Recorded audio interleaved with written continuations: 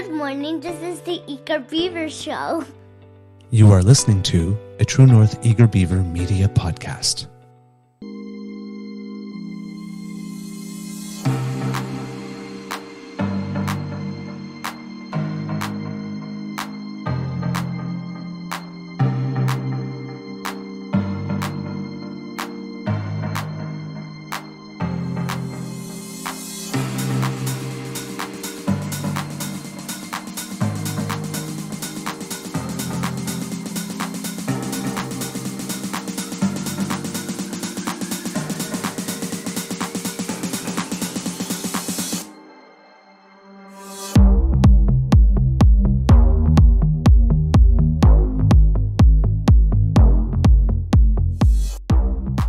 True North Eager Beaver podcasts are proudly brought to you by our founding sponsors, the Miss V Mysteries from Corvid Moon Publishing, your source for science fiction, fantasy, and cozy mysteries featuring a broad diversity of characters. CanadianTarot.com, your uniquely Canadian online eclectic tarot community and forum, and the Peppermaster, hot pepper sauces made from fresh farm ingredients to thrill your taste buds and expand your mind.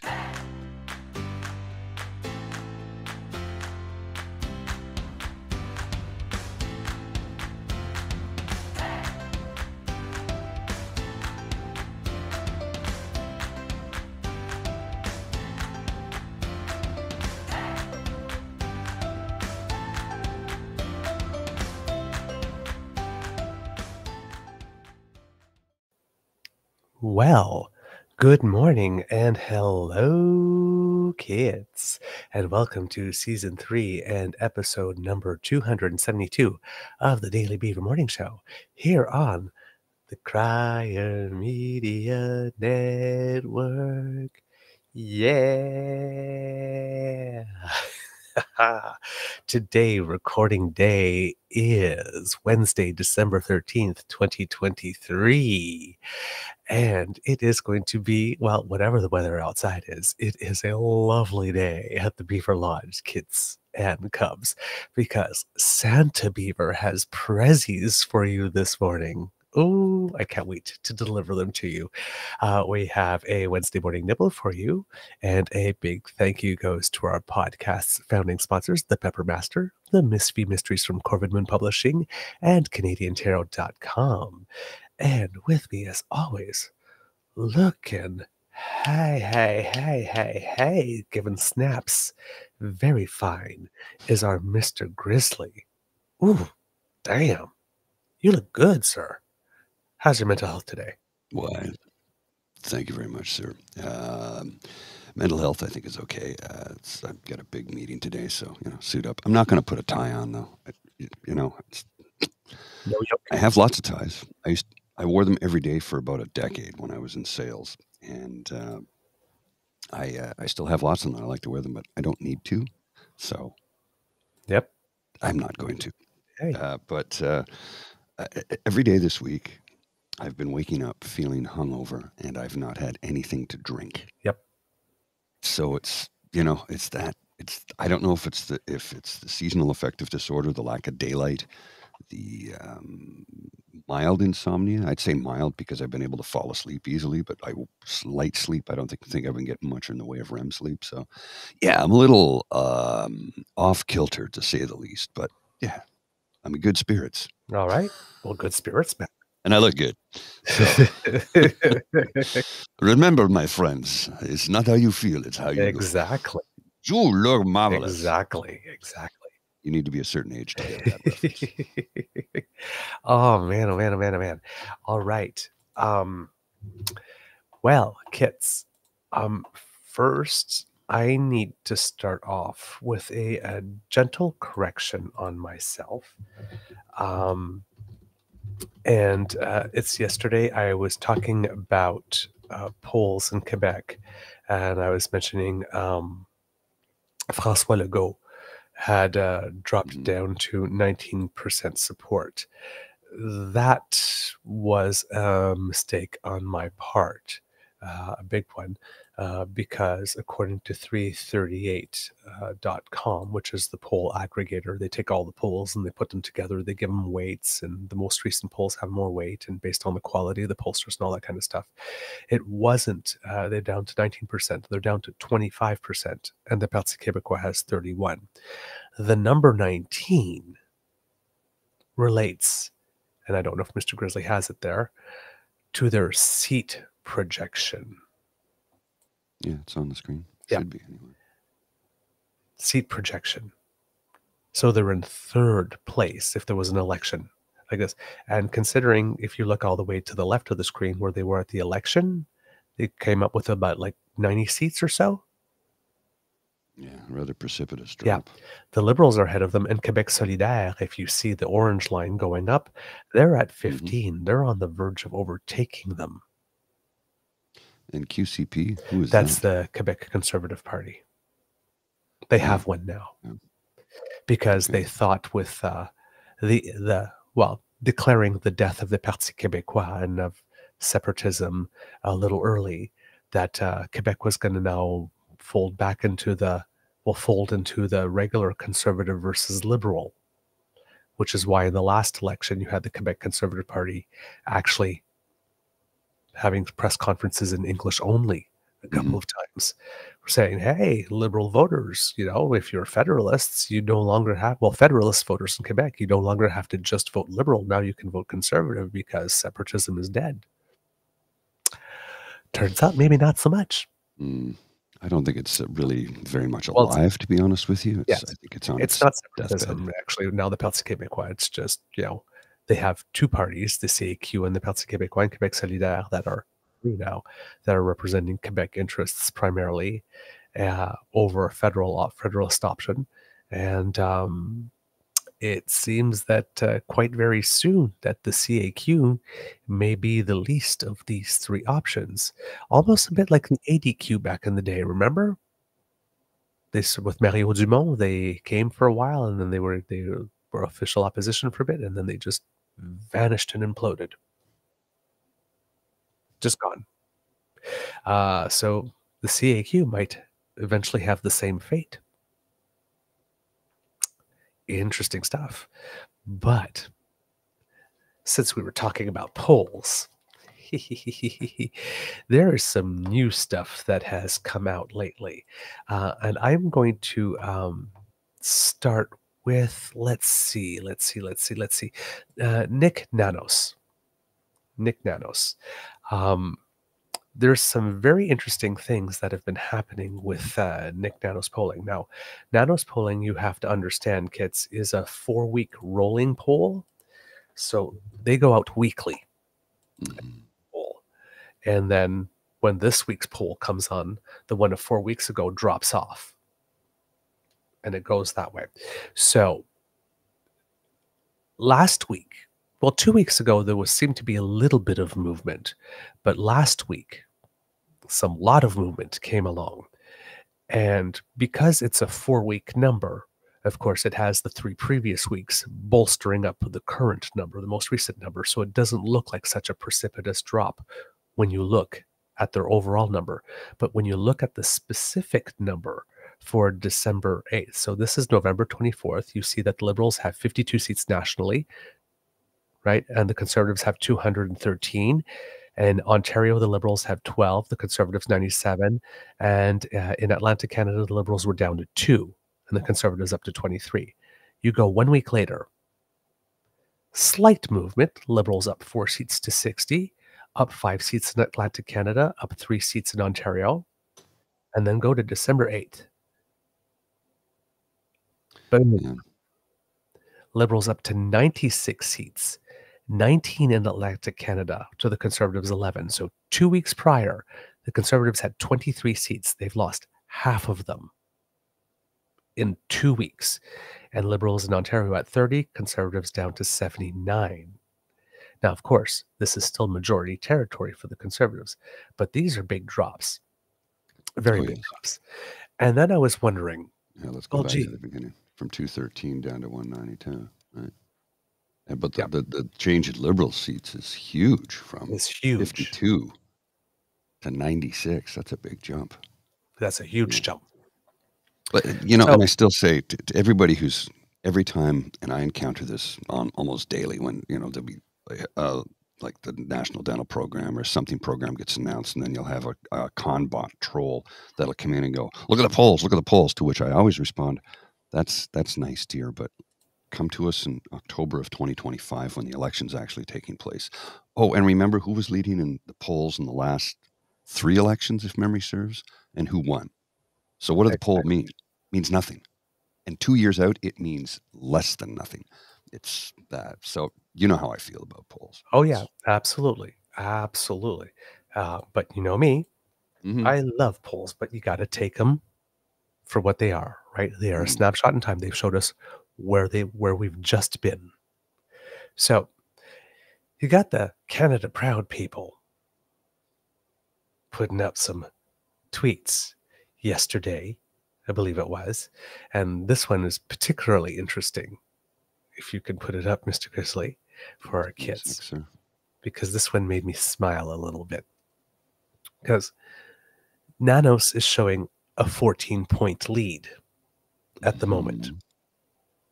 Mhm. But Just, give me a just the week prior, Nanos was showing a 19 point lead. So that's a five point drop in one week on a rolling pool that has three weeks that are higher. So you got the Canada Proud people going, Who's ready for an election? Pierre holds a 14 point lead over Trudeau in the latest poll, December 8th, 2023. Well, yeah, if um, in the space of one week a 19 point lead dropped to a 14 point lead, I would want to go now too. Wouldn't I?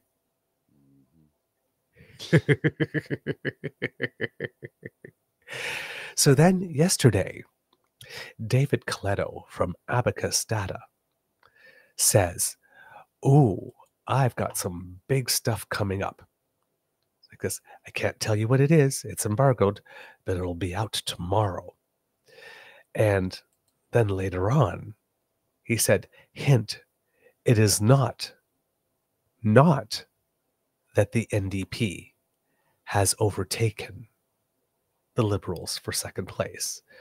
So that immediately made me think, hmm, is David Coletto's data from Abacus going to confirm the movement we've been seeing with nanos? Well, kids, apparently it does. And then some. Oh my, my, my, my, my, my. So if you look in the Toronto Star, there's an article by Stephanie Levitz that came out that uh, reveals what uh, Abacus has been saying. But I will let Mr. Grizzly put a visual there because uh, since I got up early this morning, I You, you can share visuals. You know that. Eh? yeah, but it's easier this way because I only have one screen here. Oh, okay. Yep. In the the other room, I have I have two when we set it up, but here I only have one. Um, this data is particularly juicy, and you will see why it is that I am wearing my sequined Christmas hat and playing Santa Beaver. Now, I took uh, the aggregate polling data from uh, 338, the bottom one on this this uh, visual, and I created the top one based on the data in the article. If you can click on the graphic, uh, Mr. Grizzly, there we go. On November 11th, 2026, Abacus Data had polled 2,417 Canadians and showed that the Liberals were at 23, the Conservatives were at 42, the New Democrats at 19, for a Conservative Party Canada lead of 19 points. In about 16 days, data from December 12th, 1,919 people polled. The Liberals are up 4 to 27. The Conservatives are down 5 to 37, which means a Conservative lead of 10. They've dropped 9 points, almost half in 16 days. Gee, I wonder what's been happening in over the past 16 days. Hmm? Betraying Ukraine, voting no on everything, calling everybody anti Semites, Yeah. and all Doesn't. other stuff, right? Um, this is absolutely delicious data. If you keep scrolling down, Mr. Grizzly, uh, on the tweet thread. So the honeymoon is over. And remember, I kept on saying this is the kicking the tires phase. When there's a new leader and all that kind of stuff. hmm That part is over completely and totally over.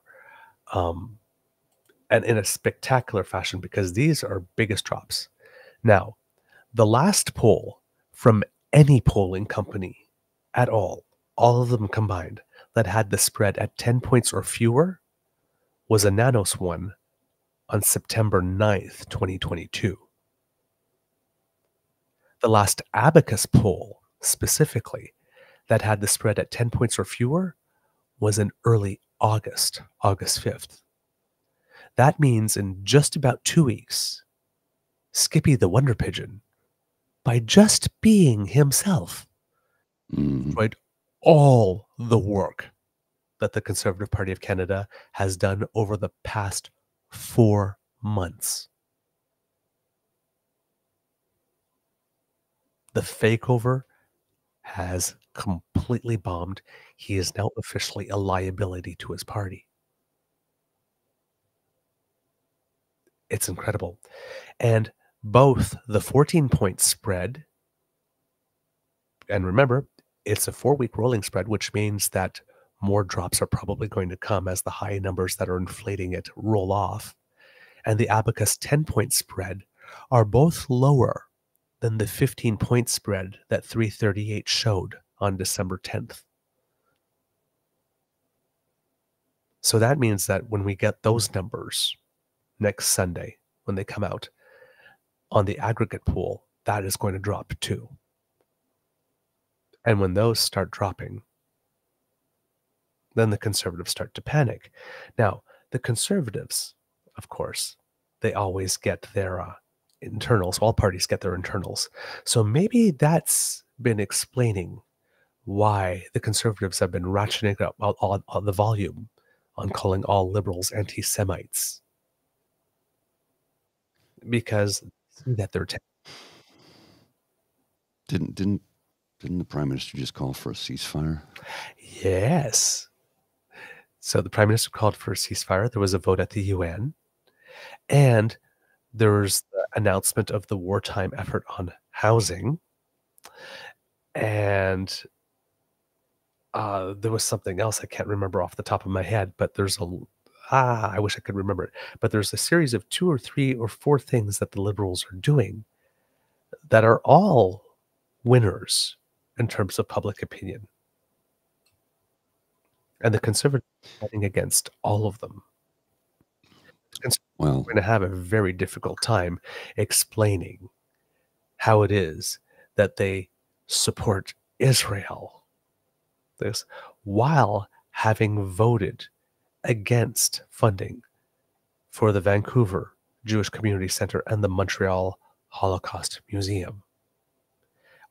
Day that Skippy went to a Hanukkah ceremony, which now people have to doubt whether or not that was because he actually believed in it or because he was already going to Pointe-Claire for mhm. $1,700 a plate dinner at a Montreal steakhouse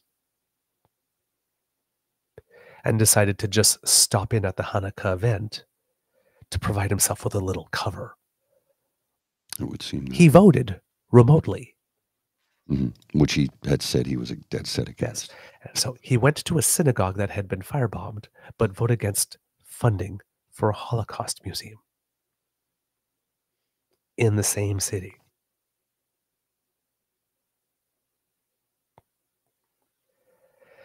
His love for the Jewish people is about as deep and wide as his love for the Ukrainian people. It Well, seems that the only reason he attended the event, and remind you, let's remind you that by attending that event, he stopped all other MPs from being able to Mhm. the first day of Hanukkah in their writings Mhm. and separated Jewish MPs from their community, then their family, and their children on the first day of Hanukkah. But he's going to wrap himself in that Israeli flag and say, Hey, Jewish people, I'm with you. Clearly, he is not. At some point, it's going to be about what he does and not what he says. And I suspect that more support will drop. Well, look, I'm going to posit it. I'm going to ask a question. I'm just asking a question here. Right. I'm just asking a question. So there's the accusation about how, um, and, and a founded, well founded accusation about how India helped get him elected into his current position. Yes. Well founded because there's lots of documentation to back it up. I'm not, that's Yes. not even speculation. That's fact. But when he keeps voting against the Ukraine free trade agreement and funding for the war in Ukraine to support Ukraine, and the rumors about his connections to Russia and Putin, and we've had David Wallace in the past say that he's a Russian Mhm. asset. hmm Paint by numbers is putting together a portrait of he's in Putin's pocket. Oh, yes. I'm just asking the question because all the evidence certainly points to that. And when you have an insider say that, oh no, he's definitely in Putin's pocket, you know, don't forget uh, Doug Ford had back channels to Russian money. I'm not making it up. It's all been proven, It is. all documented. It has indeed been proven. And um, the India stuff is pretty big. And it's not that I am going to avoid it, but I'm working on getting a guest uh, on the show um, who writes for the Hill Times, uh, whose beat is foreign affairs. Don't give the name And- away. No, no, won't give the name away. Uh, whose beat is foreign affairs. So I'm saving that to have this discussion uh, with him. Uh, but yeah, the India stuff is definitely looking way, way, way, way, way stickier. Um, because Well- there were two moves. One, there was a move to bar a certain candidate from attending events that were in support of the Indian diaspora in Canada. Mhm. And for some reason, someone else getting a lot of support, including possibly the purchase of lots of memberships. Yes. Yes, a Tsar is born. I love that graphic. Um, so, which leads to us wondering, and I, I and I, I put the question to Sarah Fisher, who's the communications person of the Conservative Party of Canada, who, of course, never seems to answer my questions, but wondering, um, what is the Conservative Party of Canada doing to get to the bottom of this India thing? Because um, at the time, I voted in the Mhm. leadership race because I did put down ten dollars to buy a membership to vote Mhm. in that race. Um, did I vote in a race that was a fraud? Did the party commit fraud? And if the party did not commit fraud, if the party honestly was not aware that this was going on, then the fact that this has been now three, four days that this story is out, the party mm-hmm. has not addressed it in any way and has not told any of its membership what it plans to do to get to the bottom of this, how the perpetrators will be punished. Well, remember their language and their specific words. We want we want to investigate interference with Beijing. Beijing interference. He doesn't say China. Never says the name of the nation because he's in bed with China and was years ago. But we're only investigating Beijing and no one else. When when Jagmeet Singh stood up in the House of Commons and said we need to invent, investigate every country, including Russia and India. No, no, no. Just Beijing. and just the last two elections. yes. Nothing prior. Just the last two federal elections. Nothing else. Mhm. Not his leadership campaign to become the Mm. leader of the Now, when there is Christo fascist party. Yes. Now, when there is news that your political party may have been breached, remember when Pierre Poilievre decided to play that car explosion as a terrorist attack? And his question was, It is the duty of the prime minister to keep people safe. Could he tell us what his action Mhm. plan is? Well, isn't it the duty of the Conservative Party of Canada to make sure that its leadership vote is not compromised by foreign officials? And out of respect to its membership and keeping its membership vote safe, what is it doing and what is its action plan? The question can be posed to it. And they have had radio silence, which makes the party and its leader look extremely weak. Bad. It's just bad. the party and the leader are weak. They mm-hmm. cannot even defend their own party against interference, and when there is news of it, they remain quiet. How are they going to defend Canada and Canadians if they can't even maintain their own party?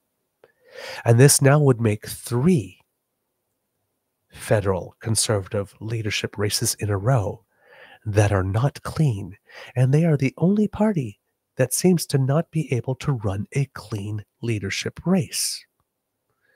Once again, leading credence to my call for Canadians to come to the conclusion that this party most certainly does not deserve to form the government, but shouldn't even be the opposition. There is something rotten in the state of conservatism.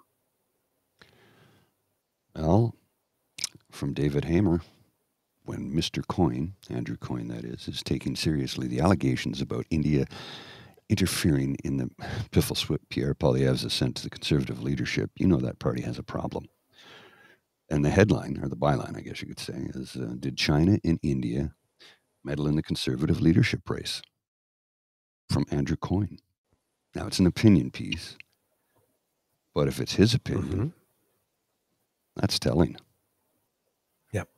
Now, 'Cause he's been a, a, a he's been leaning conservative and supporting conservative for a long time now oh yes, in his writings. I don't know what his personal politics are.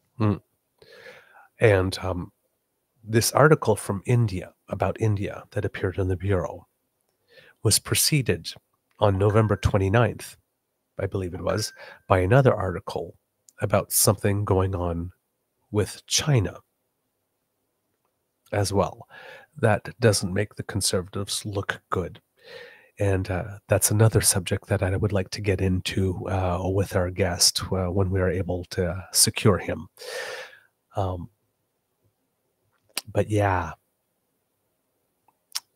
this is not looking good. And when you combine that with the fact that um, there seems to be some rogue, rogue elements within CSIS, and there's uh, Bruce Anderson hmm um, put out an actual call that says that the prime minister should probably be firing the head of CSIS and cleaning house.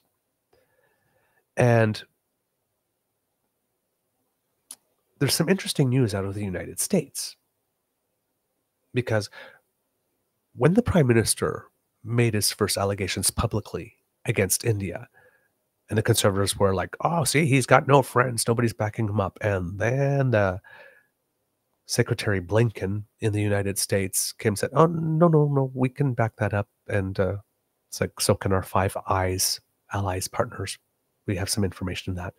And then a few weeks after that, there were uh, there was a charge, charges in the United States laid against someone who is part of the part of the same plot, allegedly that led to the death of a Canadian citizen on Canadian soil. The extrajudicial killing by allegedly a foreign nation of a Canadian on Canadian soil. And that there was a plot foiled there. and that probably by his actions, the prime minister actually saved three or four other people from being killed in the same manner. Well, conversely, not conversely, but also in the United States recently, there was the discovery that they had someone who was a double agent since the 1970s, hmm and they didn't uncover him until just now. Almost 50 years.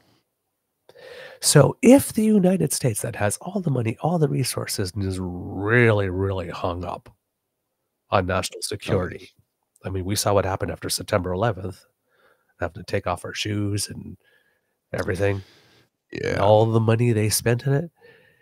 If a person in the United States can go undetected since the 1970s, certainly there could be a rogue element within CSIS here No doubt. because we certainly don't not put that much money into it, and especially into verification.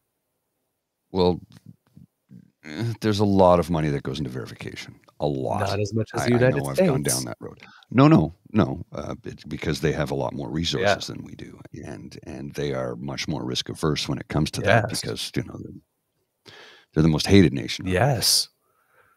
right. Now we we've certainly made some enemies because we're standing up for democracy. We're standing up for uh, a way of life that we believe in, which is everybody gets a vote, everybody has a voice, everybody has their say, everybody has the ability to say it. And there are leaders within the International Democratic Union, of which Stephen Harper is the leader, that do not like that. They call themselves the International Democratic Union, but there's nothing democratic about the way they uh, operate or organize or run that organization. They are a bunch of despot fascist dictators. Well, fascist, I think, is probably a better term than dictators because they do use force to try and make their their point. This this we're we're in a we're on the we're on the edge here, folks. Don't, don't kid yourself. We are on the edge here. It's it will not happen overnight, but if we do not get involved politically, starting at the municipal level when it comes to school boards, start there and look how they've worked their way in and worked their way up and how they have a long game for this. Now, the difference between Poilievre and Stephen Harper is Stephen Harper was, as you said, the king of incrementalism. He knew how to play the long game. Poilievre, nah, he's in a rush to be, be the most powerful man in Canada, and he'll do anything to get it. To the point where he's probably going to be taken to the woodshed by Harper pretty soon, if he hasn't already been, because we've not heard very much out of him in the last five days, other than him standing up in the House of Commons and saying that Ukraine is a faraway foreign land. There's a lot of Canadians buried in foreign faraway lands, and isn't Israel a foreign faraway land too? So And further away. Further away. Mhm. It's and again, uh, somebody pointed it out yesterday because you it's very, very, very important to know your history. Mhm. History. I'm saying it doesn't doesn't repeat, but it certainly, certainly rhymes. oh yes, and um, I believe that it was um, Neville Chamberlain hmm back in the days of the Second World War, when he was uh, trying to not get involved, said something like, "A quarrel in a faraway country between people of whom we know nothing." hmm September 27th, 1938, in reference to growing British anguish over German Chancellor Adolf Hitler's ambition to take Czechoslovakia.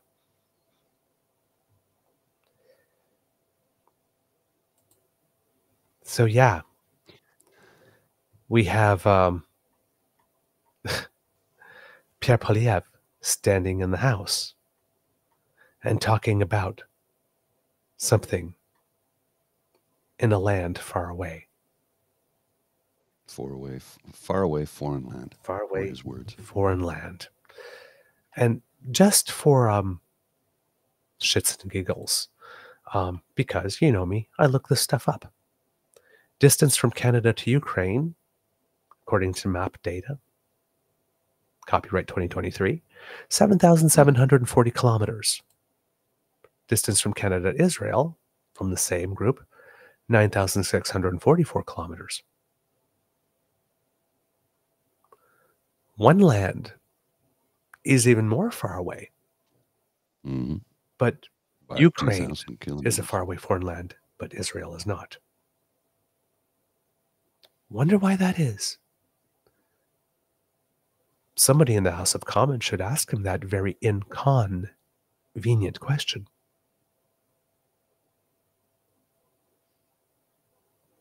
Why is Ukraine being singled out for special treatment? Well, again, like I said, if you're in the pocket of Vladimir Putin, and, you know, the, the paint by numbers picture certainly forms that uh, picture. I mean, come on. Here, I, I have the quote. I have the quote right here, actually. Let me just put it up on the screen for you so you can see it. It's um, this is exactly what he said in Yeah. the House of Commons yesterday. People say they'll never be able to afford a home. We understand with this miserable record, he doesn't want to talk about Canada or Canadians. He'd rather spread falsehood about lar- faraway foreign lands, Mr. Speaker. Will he not stand up for once for Canada, axe the tax or our families can. People say they'll never be able to afford a home. We understand with this miserable record, he doesn't want. this from a man who lied about standing in the Commons until the tax was axed, Mhm. and then lied about not voting for the Ukraine free trade deal, which President Zelensky signed when he was here last in Canada because of carbon tax, and then who did not approve funding recently for a charity, also based on the same reason, carbon tax. It seems that for some reason, absolutely every policy, every initiative that the government wants to take up comes second to not having a carbon tax. Wonder why that is. Oh, by the Hmm. way, did you hear that Danielle Smith is in Qatar? Yes. yeah. After spending what, ten days in Dubai? Mm. Tea. Tasty, tasty tea. Ay, ay, ay, ay, ay, ay, ay, ay, ay, kids. It's literally right in front of us, and we really need some people in mainstream media to start connecting the dots for everyone I'm- because I'm not everybody watches this show. No, but I'm hopeful that there are individuals in mainstream media who are doing the work in the background right now. And they're going to wait until all the T's are dotted, all the all the I's are dotted, all the T's are crossed. Let's get that right. Yeah, dot the T's, cross the I's. Yeah, Dot the T's, cross the I's. We're on matching socks. Woohoo!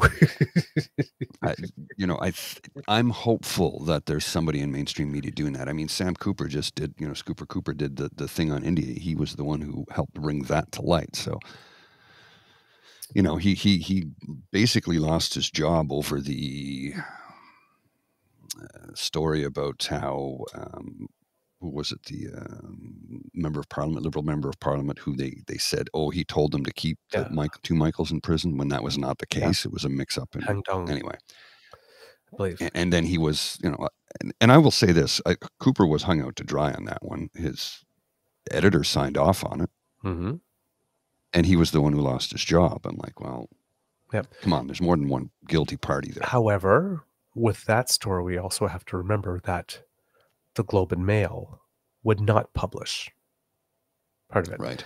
which, you know, and we on this show, myself personally, uh, was a little skeptical of that part of the reporting, which leads some people to say, hey, if you were skeptical about that part, then you should be skeptical about this part.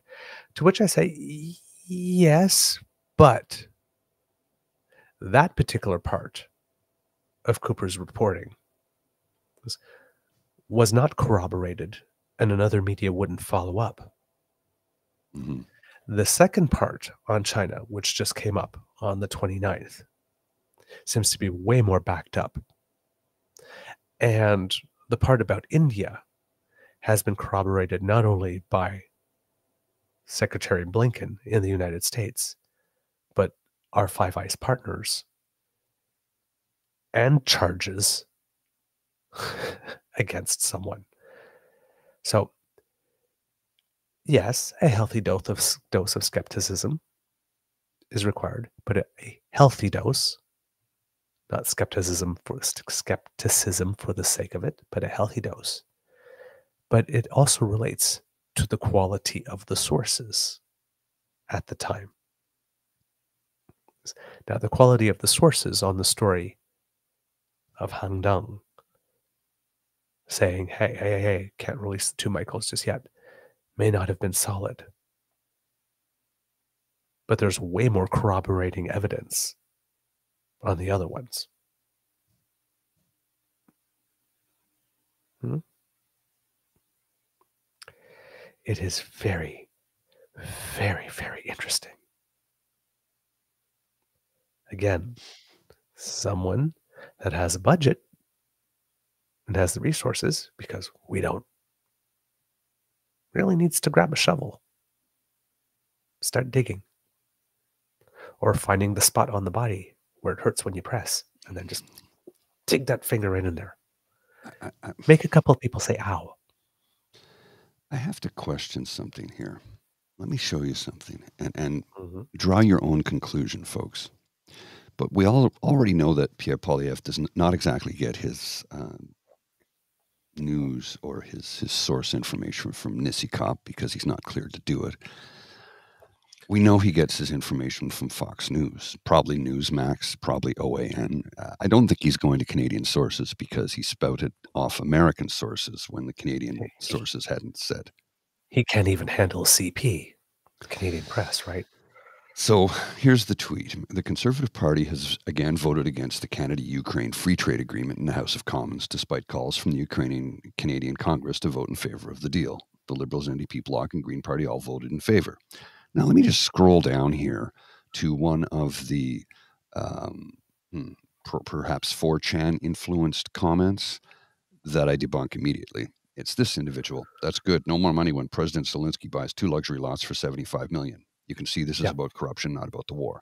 Is that why he's voting against it? Because look, I've got a little story here from uh, AP News that uh, will um, uh, corroborate that he did not buy luxury lots, yachts. They're still up for sale.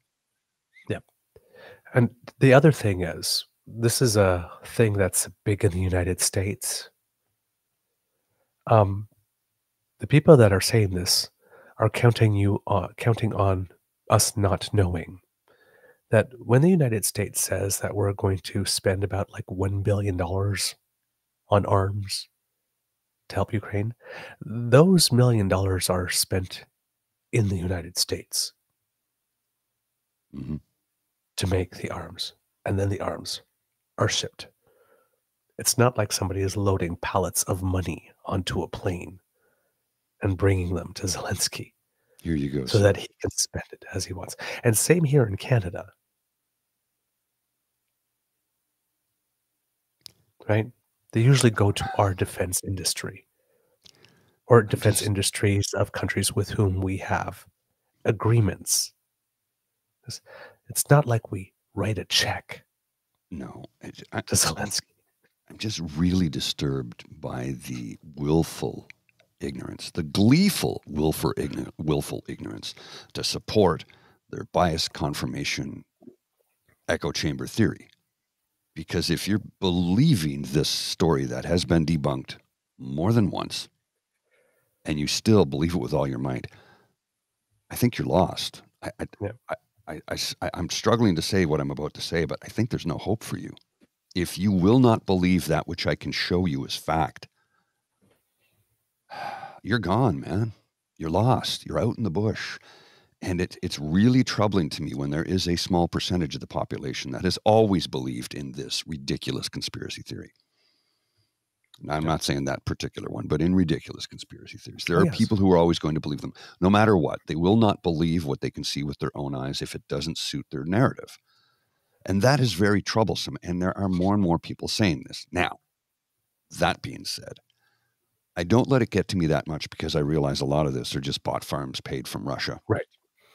With conservative funds, maybe, Uh, maybe, maybe. I'm qu- I'm, I'm just, just asking, asking questions. Allegedly. Allegedly. Allegedly bought with. Um, and as Kit the anti corporatist says here, sometimes they're even older weapons that were slotted to be destroyed, and they ship their old ones to Ukraine and they manufacture new ones for the US Army. Indeed.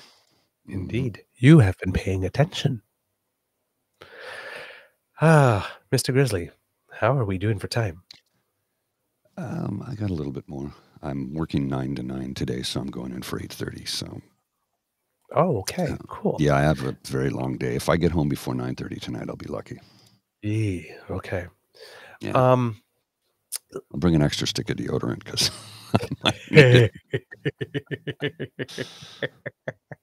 well, I mean that's a long day, right? It's you, you know how the human body works. that, I mean, that, that's that, that would be a long day indeed. yeah, it's at least 12, 13 hours. So Um, yesterday, you mentioned uh, someone named Sean Rouse mhm. uh, because he uh, and you had uh, he's a posted a, follow. tweet of his. He's a very good follow, uh, but you had posted a tweet of his that had listed list.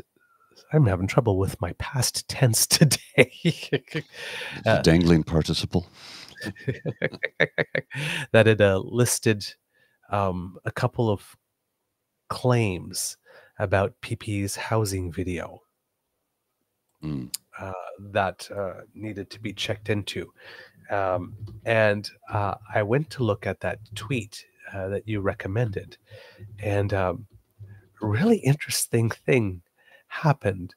Um, because I, I took a look at it and I noticed that there were four quotes there. Uh, Mhm. They're basically community notes that have been put on his thing that are not up yet because they're still waiting to get enough support. And there are three. I'll read the uh, the the three last ones first, and then I'll read the first one. The third one is the video claims that the Bank of Canada is influenced by the presiding government in Parliament.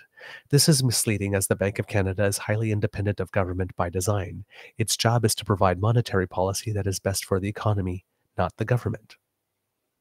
Well, and the point before that, I think, is valid too. That you've Yeah, hold on, hold on. Yeah, hold on. Yeah, hold on. Uh, that's why I said I'm going to save the point before that for last. Mhm. Third point Trudeau elected late 2015, housing prices were already rising.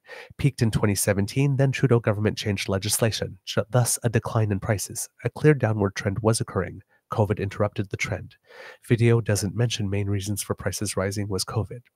And the fourth one is this video repeatedly refers to housing prices rising over the last eight years, the term of the Liberal government. However, housing prices started their accelerated increase around 2003, especially in major cities. Below is a graph of Vancouver prices from 1977 to 2016. And the Give me a first second, one, I'll show you that graph. yes, please do. Just a sec here while I get it up. Bring this up on screen. Here we are.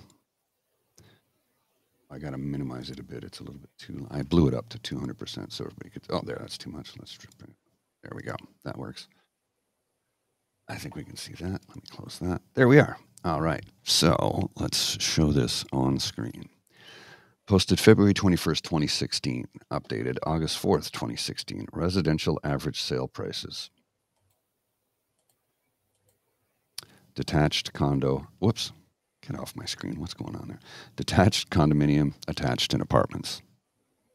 Detached homes. Yep. 1.8 million. But That's see that nice little spike going up where Mm-hmm. 2003 starts? That's where it starts. Oh yeah, yeah. It just starts to go way up. Yep. Had a bit of a dip in 2008 and a bit of a dip in what 2012, but yeah, Now, the first one that is cited on that tweet from Sean Rouse's. the housing crisis in Canada was kickstarted in 1984 when the Conservative government of Brian Mulroney slashed national affordable housing spending by $2 billion in its 10 years in office. Successive governments cut more or didn't act until 2017 when a national housing strategy emerged. I uh, had to write to him on that one saying that we uh, quoted him and said, um, thanks. Uh, I said, thank you for this, Sean. By the way, I recognize the first suggested clarification. It happens to be one I made from my personal account.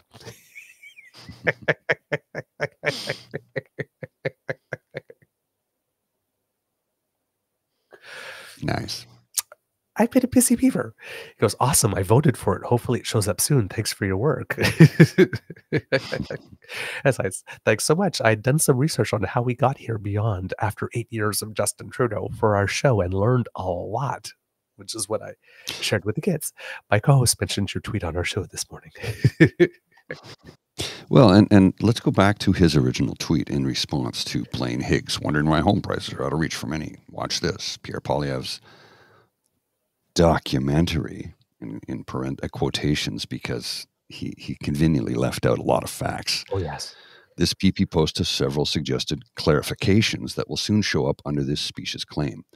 And here's the important part not that I'm a super Trudeau fan, I just don't like seeing you, Outhouse, amplify neocon nonsense. And Outhouse is, uh, is, is an actual person, by the way. Um, and he is, I don't know why he doesn't show up in this tweet thread, but uh, I found him somewhere. Anyway, he's a, he's a guy here in Ottawa, and he spouts off stuff constantly.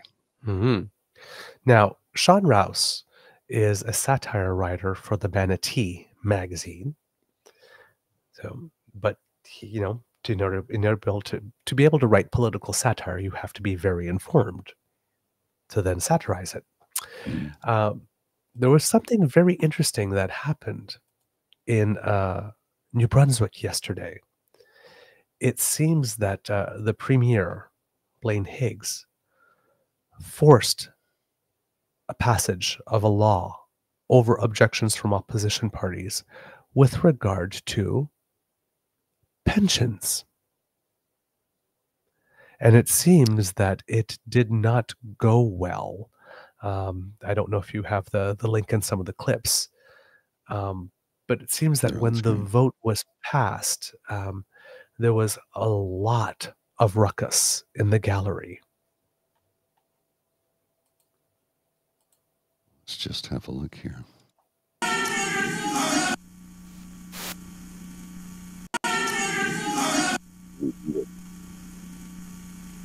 Total yeas 27, Ben said total nays 19. Who's new? Total yeas 27, total opposed 19. In my opinion, the yeas have it, and I declare the motion carried.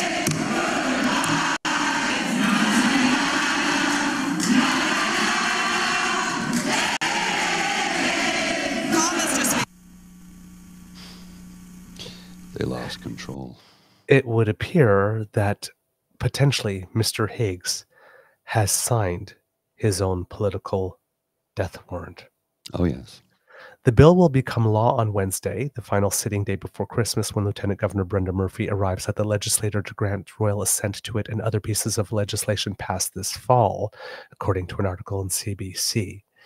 Um, and it seems that though Higgs is saying this legislation is necessary to fix a shortfall in the pension fund for affected local union locals, um, it seems that nobody was for it.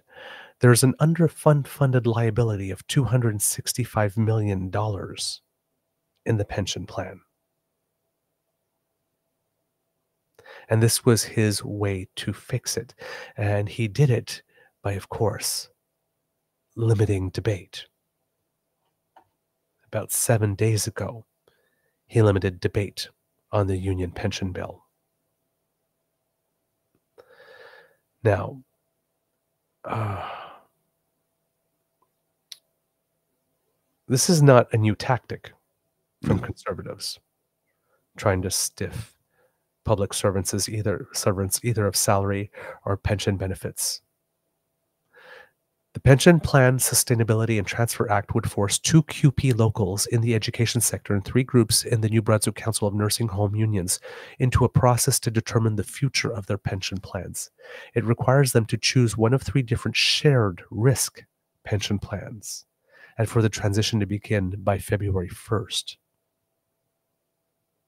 Shared risk pension plans.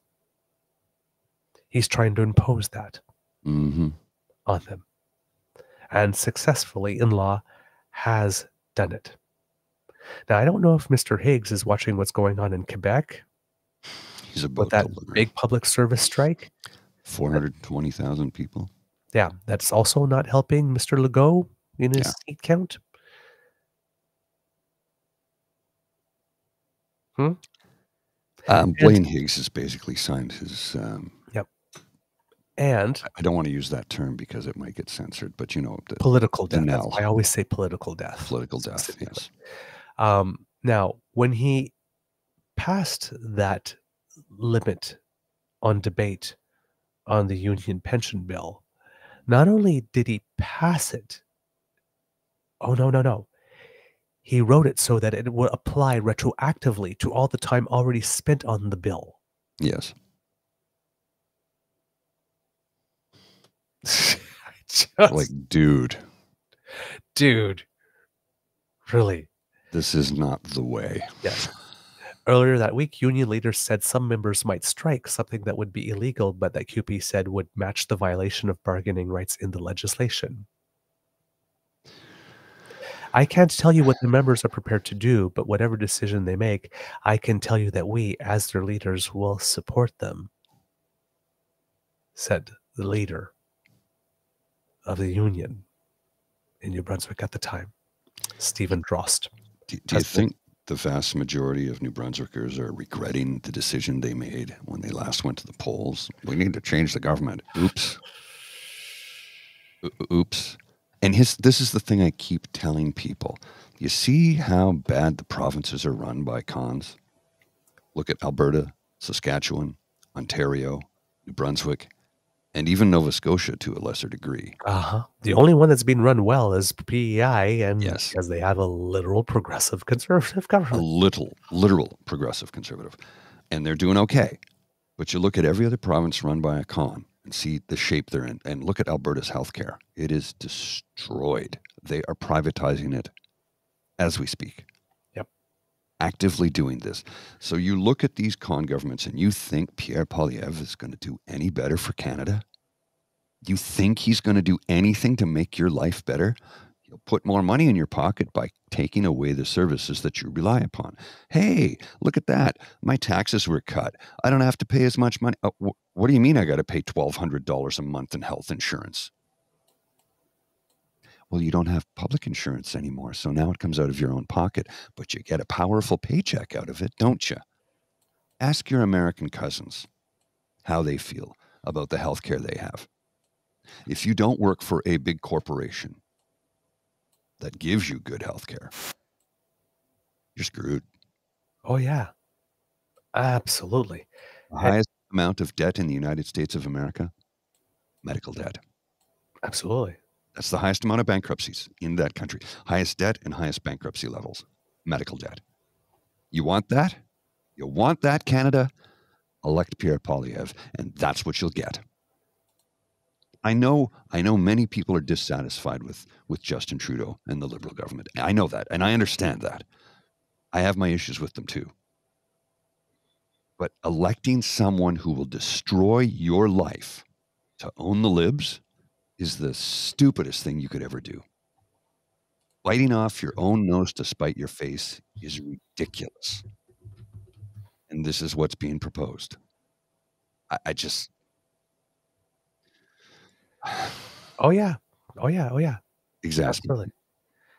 And the proof of that is that, for example, if we're talking about housing, right, where Pierre Poilievre has been making a lot of noise for a lot of time saying, you know, oh, look at housing, look at housing after eight years of Justin Trudeau. Look at all this terrible thing.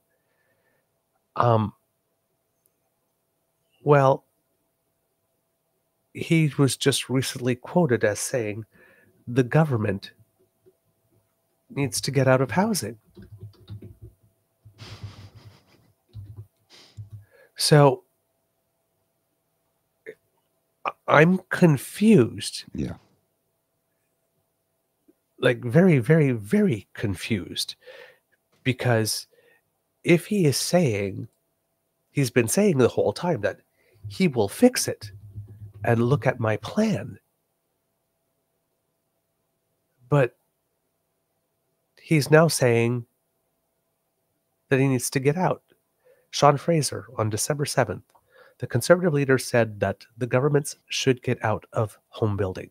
Tonight, he doubled down by voting against 71,000 new apartments and what 15,500 new homes for our most vulnerable. Solving the housing crisis takes investment in housing, not costs.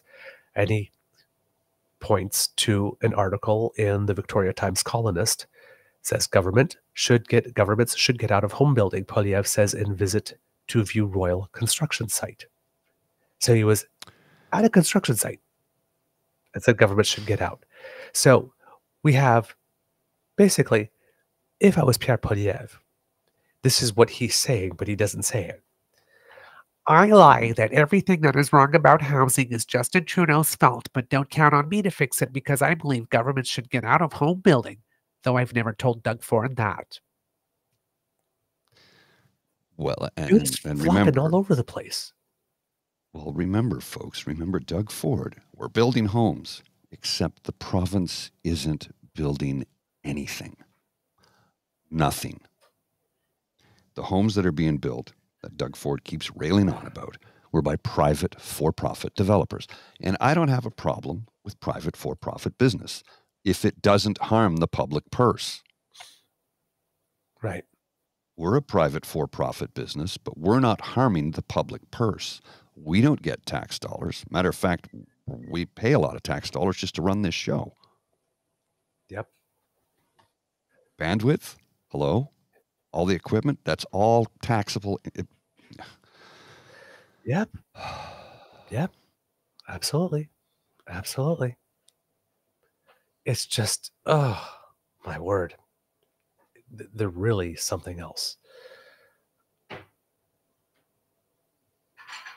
And um, here's something I would like to um, play for you, uh, Mr. Grizzly, because I'm going to talk about uh, the housing strategy uh, tomorrow, a little more.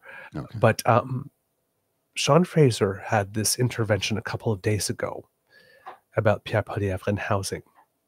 That is um, Intervention? really, really. Interaction? Pardon? You said intervention. Was that intentional? Yes. Intervention? n- Well, inter- intervention. Yes. He he. Uh, maybe I'm thinking in French, but he said something. He made an intervention on on, on the subject. Because an intervention is when we get together as a group and say, You've been drinking too much. We need to put you in Yes. home." I mean, like inter- That's where my Yes. head goes. I might I, I might be uh I might be uh make, Thinking making, yeah, français. thinking in, in French, uh, but made us a made a statement, uh, and I would like Canadian, I would like our kids and cubs to see this because um, this guy is something else, Sean Fraser. Well, he, he I'm, I'm impressed with everything he's Yep. done thus far. Let's have a look at this. When I actually compare the measures that we're putting on the table uh, to the measures that Mr. Poilievre is proposing to advance, his plan will result in fewer homes being constructed than we are already on pace to build. Uh, moreover, I don't like the way he demeans people who can't afford a home. I don't like the way he describes co-op housing as Soviet-style housing. I don't like the way that he calls uh, a small uh, and modest home in Niagara a shack uh, for promotional purposes. I don't like the way he uses homeless people as props on his social media accounts. The reality is we have to ask ourselves not how are we just going to tap into the anxiety that's very real in communities for our own political gain, but who are we trying to help at the end of the day? When I actually compare the measures that Wow, that's um, I, more of that, please. Uh huh. More of that. A lot more of that. Uh huh. Right? Well, and, and, and his tweet, he says, when I compare, uh, and his tweet, I'm going to read it here. When I compare the measures we're advancing to what the conservative leaders are proposing, it's clear his plan will add red tape, increase the cost of home construction, and build fewer homes. When it comes to home building, it's time to invest, not make cuts. So he'll rail on about we need homes, we need homes, we need homes. Okay, we're going to build homes. No, that's that's not what I meant. Right? He's literally we're going to build homes, not what I meant. And and here's the irony. So I had tweeted this. Um, so on Monday, I guess I tweeted this in response to uh, Mackenzie Gray's uh, report in uh, on Global TV. yes. I think it was Global. Yes, global. So Mackenzie Gray says, you know, nearly 80 years after it was first implemented, Global News has learned the Fed are reviving the CMHC's wartime housing in in parent, uh, uh, quotation marks program to provide standardized blueprints to builder, builders. Here's my scoop on how it could bring down cost and speed up new home builds. And my response to that was, well, actually, it was a, a, a quote retweet. So, how will Doug Ford and Pierre Poilievre spin this in a negative fashion, and how long before they do it? Indeed. Looks like Pierre already did it. I haven't heard anything from Doug in a bit, Yeah. but and we'll talk more about that effort um, on tomorrow's show. But about Sean Fraser, there was an article uh, that uh, appears in the Salt Wire Mhm. today, uh, posted about, uh, well, maybe, sorry, I'm not sure if it was today, may, it might have been yesterday. And I'd like to read uh, a couple, uh, read a portion, we'll read it to you because it's an opinion piece, but it's really, really good. Um, the title of it is it's from Ralph Surette. It's called Poilievre, a nice guy, a Nova Scotian PM, and other stuff that's hard to believe. About that summer ad blitz intended to prove to the world that Tory leader Pierre Poilievre is a nice guy after all and not a raving right wing lunatic, Abacus data, a polling firm, found that more people now consider him moderate, compassionate, and down to earth. A majority of those who feel they know him well saw him as genuine, strong, and compassionate. Plus, there's an increase in the number of Canadians who feel they have a good understanding of what he and his party stand for. So clearly, this didn't appear yesterday. This is uh, a couple of days ago. There's just no date on it that I can see. I was just about to conclude that this might well be the most successful sucker job in Canadian history when Poilievre suddenly flamed up again. Picking up reports from the no facts Trump media, he lobbed out the notion in the comments that the accident at the Niagara Falls Bridge a couple of weeks ago was a terrorist attack, with some of these media holding it up as proof that a border fence is needed to keep out Canadian riffraff. And what was the pathetic, incompetent Trudeau doing about it? Questioned later about the episode, he reverted to form and attacked the questioner, a Canadian press reporter. One of his big plans, of course, is to wipe out the CBC, but it doesn't stop there, as he's made plain once again any journalist or media organization that asks him to explain himself is just a liberal NDP stooge doing their dirty work. Paranoia, despotism, deviousness, political revenge, and know it all absolutism go so nicely together, especially under the banner of nice guy common sense. Then the Tories voted against a Canada Ukraine trade deal on the flimsy grounds that there was language that there indicated support for carbon pricing, although much less so than a pending Ukraine European deal.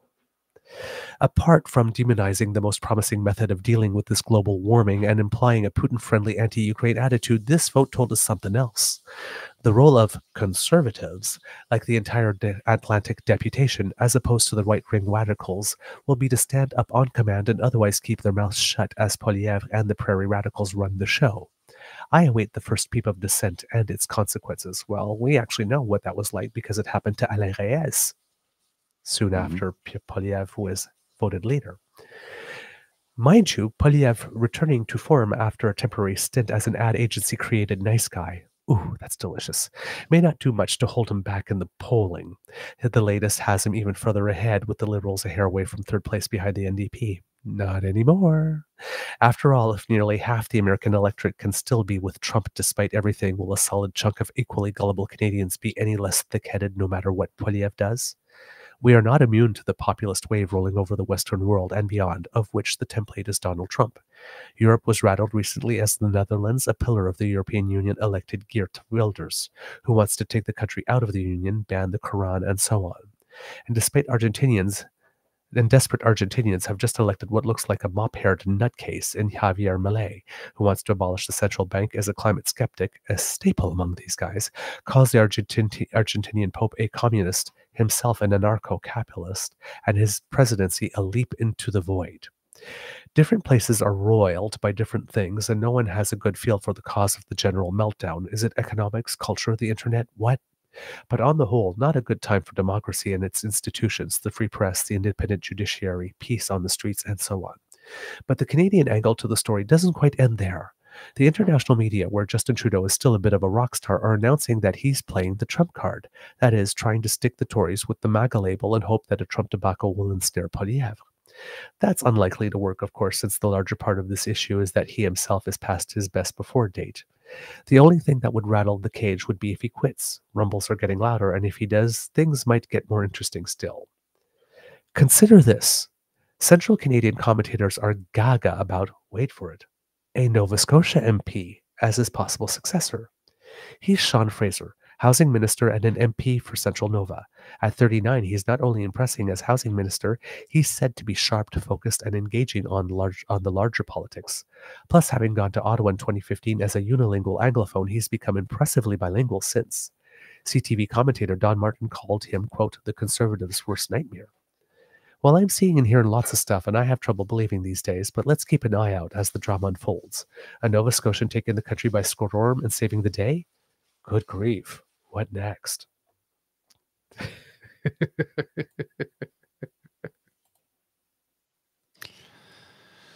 well, hey, Uh, hey. Right? Which brings us seldom am I without Yes. words. which brings us back to the initial polling from the beginning of the show. And um, I also want to, to read to you uh, the article by Stephanie Levitz because there's some very interesting data there. Conservative leader Pierre Poilievre tried to boost his MP's morale with bags of fast food during a marathon voting session he forced over the weekend. But during that same session, public opinion was souring on him, a new poll suggests. The latest Abacus data survey provided exclusively to the Star reveals a 5 percentage point drop in support for Poilievre's conservatives, an increase in those who have a negative opinion of Poilievre, and a move away from him among those who think it's time for a change in government. While the Conservatives are still ahead of Liberals by 10 percentage points overall, the shift is notable, said Abacus Data CEO David Coletto, because the numbers also because the numbers don't show a corresponding positive change in how people think Prime Minister Justin Trudeau's government is doing, nor do more people like Trudeau. Quote, Mhm. it's not that people are saying, oh, all of a sudden I love what the Liberals are doing and I think the country's back on track, he said. It's more of, I'm still anxious about it. I still want change. I'm not any less fatigued with Trudeau, but maybe some of the things that conservatives have done this week is showing us their true colors. The pollster was in the field between December 7th and 12th, asking 1,919 Canadians nationally their thoughts on the current political status quo. It came at the end of a period where Trudeau and his ministers firmly went on the attack against Poilievre, among other things, using his decision to vote down a free trade deal with Ukraine as a reason to accuse him and his party of trying to import extreme right politics to Canada. Over the last several weeks, the US, the Republicans have been holding up or outright blocking more aid for Ukraine, with some opposing it on ideological grounds, while others are trying to exact progress on their own initiatives in exchange for backing the bill. While the conservatives here have continued to say they support Ukraine, Poilievre has claimed the free trade deal would impose what he calls a quote carbon tax on Ukraine and therefore shouldn't be signed. The deal does not do that, but commits both countries to quote promote carbon pricing and measures to mitigate carbon leakage risk. It has already been signed by Ukrainian President Volodymyr Zelensky during his recent visit to Canada, and Ukraine, in fact, has already has a carbon pricing program. The poll was also underway in the aftermath of Poilievre's threat to disrupt Trudeau's Christmas vacation by using procedural stall tactics in the House of Commons, including forcing over 130 votes on single line items of spending and delaying the passage of bills by proposing thousands of amendments. The reason? The Conservatives were demanding the Liberals expand current exemptions on carbon pricing, including removing the levy on all forms of heating fuel for general consumers, as well as farmers and Indigenous communities. The Liberals did not do that. And while the voting extended well into Saturday, all of the money was still approved. Business in the House of Commons has proceeded as usual so far this week. And now the Liberals are pointing out each and every one of the spending items Poilievre's Conservatives voted against. In the survey, support for the Conservatives came out at 37%, down from 42% in the last survey. Support from the Liberals was at 27%, up from 23. Support for the NDP was steady at 19. Now here's the next two paragraphs that I want you to pay attention to, kids. At the same time, of the 32% of voters who want a change of government but don't think there's an alternative, the poll found more people are now likely to vote Liberal, 36%, than there were last month at 28%. So while the Liberals have gone up 4% in their general support among people who thought maybe it's time for change, they've gone up 8 Mhm. double. Meanwhile, among those who voted Liberal in 2021, 66% said they'd do it again, up from 58%. That's another 8% against people who have voted Liberal in the past and therefore might be likely to do it again. Those two numbers are huge Oh, yes. and are not probably fully reflected in that 4% in general. But this is vote. These are people who do vote. And in Wow. 8% of them more who think that maybe this should be time for a change, and 8% more of those who had voted liberal, there may be some intersection among those. Um, because there could have been people who voted liberal last time who thought it was time for a change. So it doesn't mean it's not a clear 16%, but it's double Mhm. both those numbers, eight, are double the 4% they went up. Quote, I think this is an indicator that the conservatives can't take victory to the bank, that there are voters out there who are paying attention and are genuinely on the fence, perhaps not fully comfortable with the conservatives and not ready to give the liberals another shot. And that's what 2024, I think, is going to be about the fight over those voters. And that is with our media, very conservative Mhm. dominated soft pedaling all of this. And yet Canadians are still noticing. Well, and remember the whole filibuster thing was about axing the carbon tax, right? So we can bring home powerful paychecks and bring home groceries to Canadians. And um, how many articles have we read now that carbon tax accounts for 0.3% increase in food prices? That's 30 cents on a $100 grocery bill. Yep. Remember that the next time you're promised affordability at the grocery store by axing the carbon tax. I can guarantee you that your insurance, your home insurance rates are going to go up more than that. Oh, yes. Absolutely. We got to wrap up. I have to get into the office. It is 20 after, and I have a 10 minute walk ahead of me. So, Yep. Yep. All right, kids.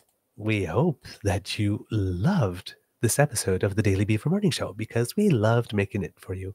And I especially love it when I get to bring you prezzies. Delicious, delicious prezzies. Ah, because sharing is caring. Make sure you tell everybody about this your peeps, your poops, everyone. And we know that you do do it because we are growing and your word of mouth is priceless. If you would like to make sure that you do not miss an episode, well, you don't have to. Thanks to the Ray Curl. You just go to our pod page, podpage.com slash the True North Eager Beaver, lowercase letters with a hyphen between each one of those words. And that way, when you subscribe there, when we have something fresh off the bandwidth, we make sure it goes right into your box.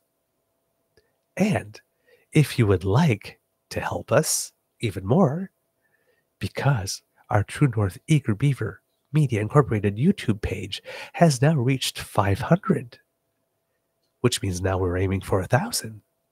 We need your help.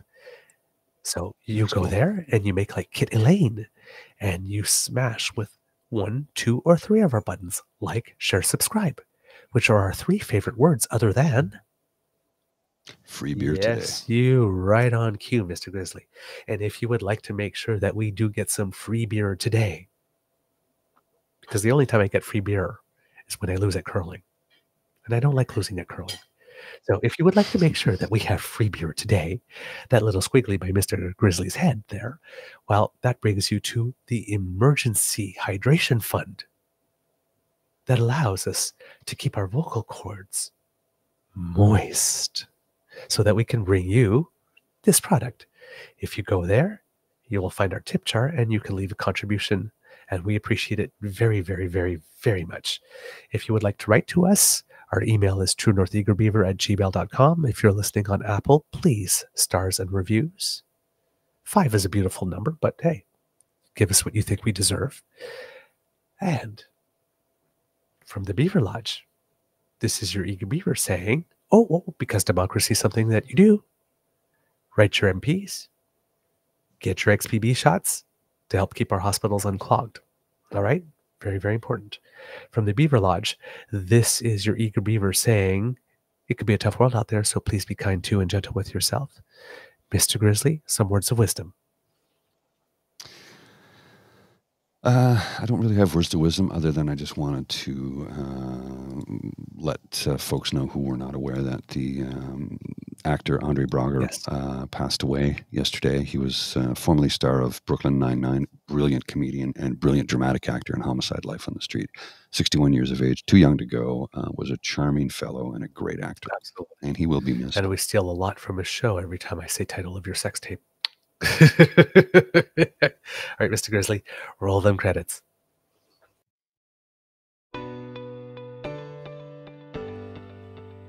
You are listening to a True North Eager Beaver media podcast.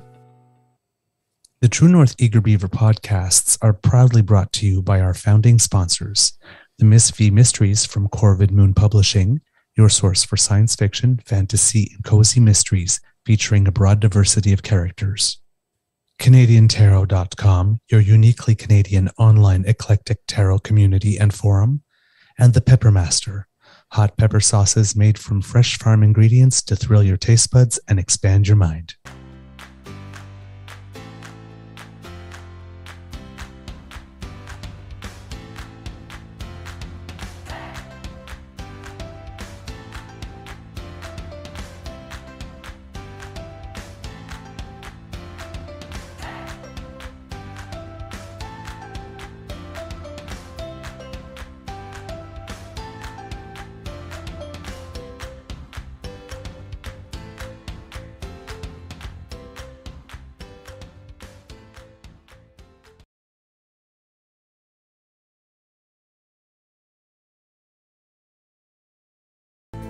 Welcome to the place where everyone knows your name, where everyone's your friend, where good times are had by all. Sit back, relax, pour yourself a beverage, and enjoy our company. I know we'll certainly enjoy yours. Welcome to the True North Eager Beaver Pubcast. Once a month, we gather at the Lieutenant's Pump at 361 Elgin Street in downtown Ottawa, Canada's capital city, bringing you joy and happiness all day long.